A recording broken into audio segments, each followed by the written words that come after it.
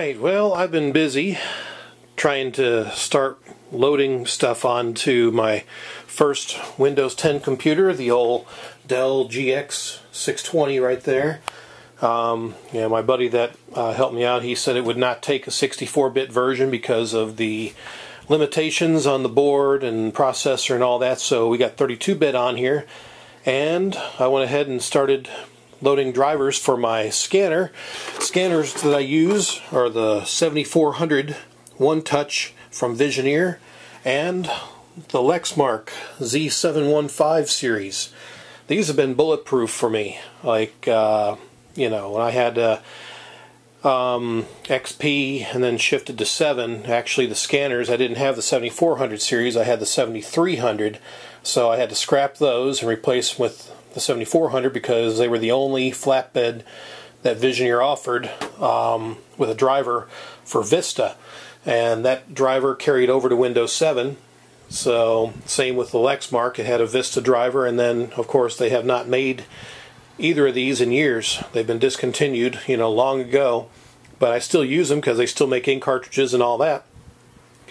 But I can't seem to get them to work on Windows 10, and that's been my biggest fear whenever I'm forced to upgrade operating systems. I have to scrap, you know, working good working hardware because Windows doesn't support it anymore.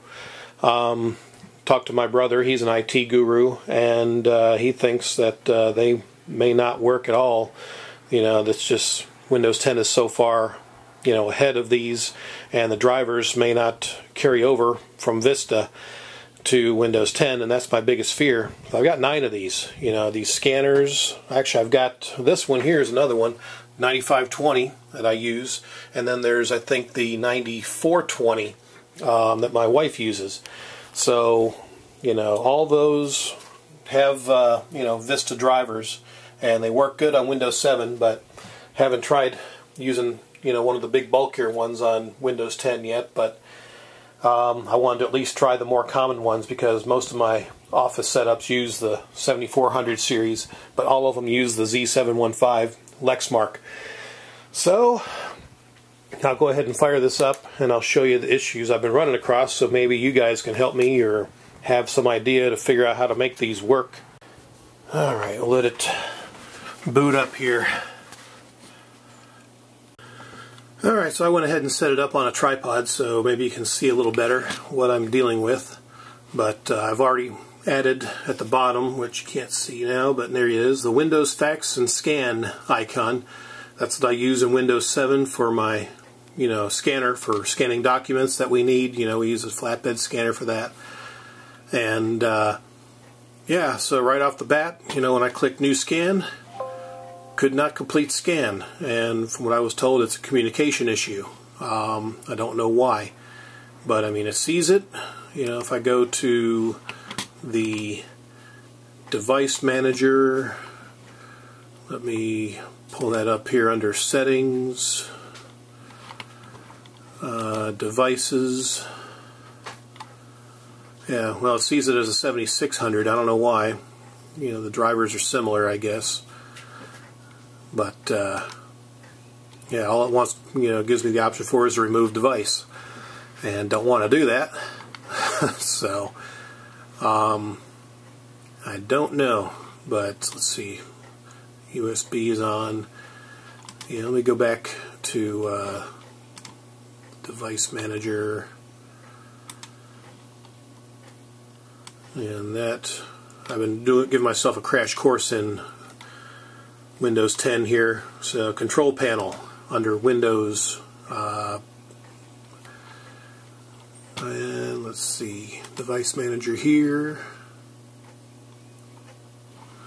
Okay, so I got an issue with AMD card as well. I still haven't messed with that. Imaging devices, Visioneer 7400, so it sees it. Um, you know, I've tried update driver, doesn't do anything. Yeah, scan for hardware changes, properties, devices working properly. Well, no, it's not. Um, you know, try to update the driver, search automatically, and it's determined it's up to date. So, pff, all right. So I'm kind of at a standstill with that one. And uh, let's see, printers. Yep, Ciezel Lexmark Z700 series just fine. Um, device is working properly. Well, no, it's not because let's go back to. Um, tell you what, let me go back, minimize all this. Okay. Alright, the scanner. So, yeah, could not open document for viewing, can't even open it. So, yeah, that's great. So let me just go right to the folder under Documents and Scan Documents. Alright, so there's the picture. Open it up in Paint, no problem. Try to print it. You know, it's got two printers. I switched ports thinking maybe that was the issue, but this is the actual, you know, printer that's in the right port. Click Print. Communication not available.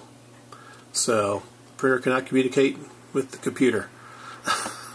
Make sure it's turned on. Well, yes, it's turned on. Look, you can tell.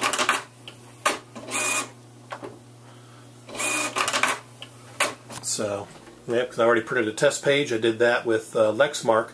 That's a funny thing because I called them for tech support, and uh, you know, they say, well, you know, this is a pretty old, you know, computer. We don't even have it listed in our archives, and chances are, you know, it may it may still work if it worked in seven. But in order for us to try it out or to troubleshoot it, we need to charge you 119 dollars, and apparently this would be good for two computers. Well, I got nine total to go through, and I told them, you know, basically a pound sand, you know, because I asked them, well, if I pay this $119, will this guarantee me that this issue gets fixed? Well, no. so why would I pay $119? I could just go out and buy another, you know, printer, probably a few printers for that price. So, and that's my biggest fear right now is that my old, you know, Visioneer 7400 and other Visioneer scanners, along with my Lexmark Z715 printers, may be forced to be retired or replaced with newer models and that's going to cost me a fortune because you know like I've got here in my office one two three four uh, five. Yeah I've got five here at home. I've got two in Charlotte and then I've got others as spares you know in case one goes down. So you know I've got I really you know the counting actually my my friend's got two more computers. So yeah I've got about eight or nine for sure that I know are going to be upgraded to Windows 10 and I got to have working scanners, you know, flatbed scanners and uh, printers. And I can't use those all-in-ones because sometimes these documents we have to scan, you know, like a passport or a birth certificate. You know, sometimes these guys, the birth certificates are torn and tattered, and you can't send them through one of those roller-style scanners, um, you know, to get a scan. It needs to be a flatbed, you know, like a copier, you know, top that lifts up, put the document face down, and the lid on top of it to press it down to get a good scan. Um, you know, and then the printer, something that's inexpensive, something you know personal, or you know for a small small business, uh, individual desk environment. So it has its own printer, its own scanner, not something on a network.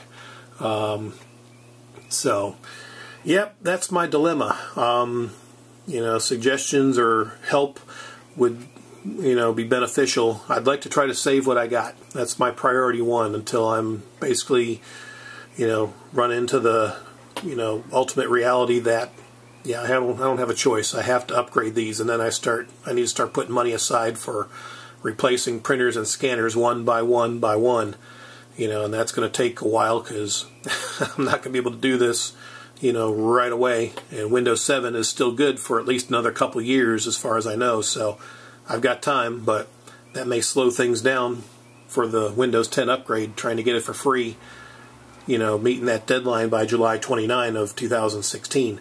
So if I miss that deadline, then yeah, I'll be paying for, you know, operating system, you know, as well. And that's not, you know, again, small business like mine, I, you know, can't keep forking out that kind of money for, you know, equipment and operating system activation keys. So, let me know what you think. Let me know if you got any ideas. Um, You know, again, the scanners I use are Visioneer 7400, 9420, and 9520. And uh, um, it might be 9450. Uh, I have to double check on that. I'll put it in the description if I'm off on the SKU number there. But uh, yeah, those are three scanners that were the only ones Visioneer made that had Vista drivers that I've been able to use in my small business.